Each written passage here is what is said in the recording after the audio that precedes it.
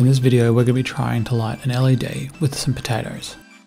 All the required materials are in the description below.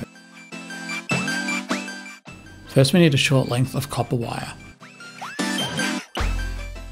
If you don't have wire you can use copper nails or even copper coins. I'm going to bend this piece over so it's got good contact inside the potato.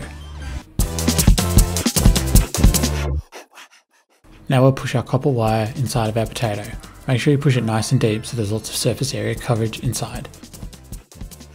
Now do the same thing with the galvanized screw or nail.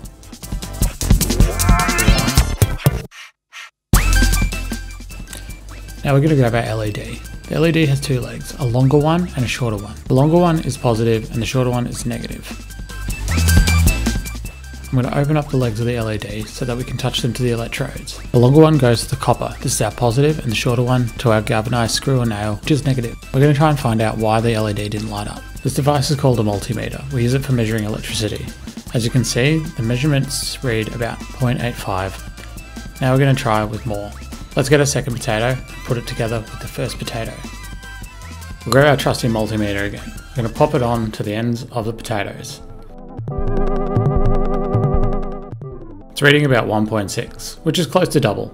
Alright, the moment of truth. I'm going to use this test light to test our potato and lemon battery. You can use lemons if you run out of potatoes. As you can see, the LED is lighting up. It's pretty faint, but we've successfully produced enough voltage to light an LED with potatoes and a lemon.